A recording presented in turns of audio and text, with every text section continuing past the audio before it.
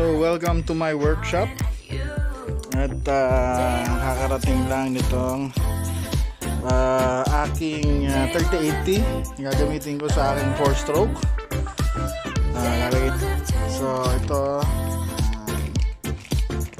usual price ng 180 mga ganun. So always laging magdala ng interior at hindi mo alam kung kailan ka mapaplatan. Uh, nakakailang interior na rin kasi ako. So, kanina, nag-ride kami sa Evia. Ito ang tumusok sa akin sa may West Service Road. Yan. Tumalabas sa gulong. So, iniisip ko, ba, maikli lang.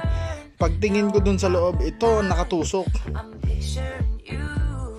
So, ingat-ingat guys, lalo na yung mga dumadaan sa West tsaka East Service Road.